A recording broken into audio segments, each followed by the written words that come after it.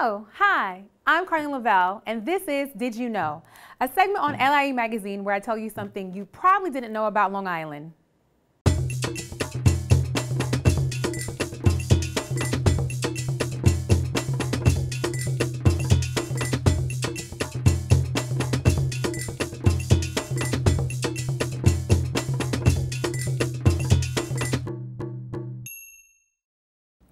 On this episode, I tell you how you can become the next William Shakespeare, Tennessee Williams, or August Wilson through PATV's Playwrights Project. But first, a little history. Norman Hall, who is a famous TV director and stage director, known for his work on the NBC show The Doctors. He's done other stuff, including directing the ABC soap opera One Life to Live, which earned him a 1983 Emmy Award for Outstanding Directing. In 1994, Norman joined the PATV board, and in 1996, he established the Playwrights Project to find talented writers and their plays whose work could be televised and produced by PATV. Since its inception, the Playwrights Project has produced 28 one-act plays and even a behind-the-scenes documentary.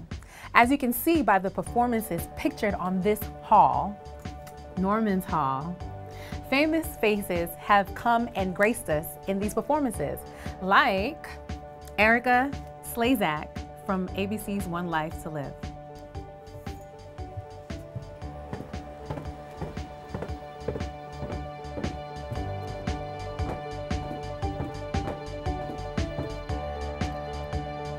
After his passing in 2016, PATV decided to rename the Playwrights Project in Norman Hall's memory. It is now known as Norman Hall Memorial Playwrights Festival. And they also dedicated their broadcast control room in his memory in 2017.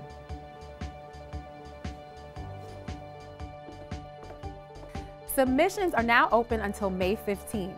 To find more information, please go to the website on your screen. And remember that you just have to be a Long Island resident to enter.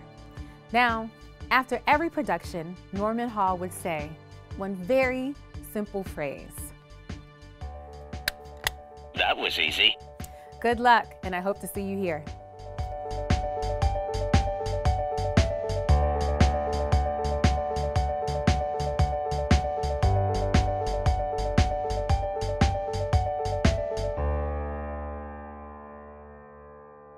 If you have any comments, cool facts, or suggestions for our next Did You Know segment, send us a note at info at patv.org.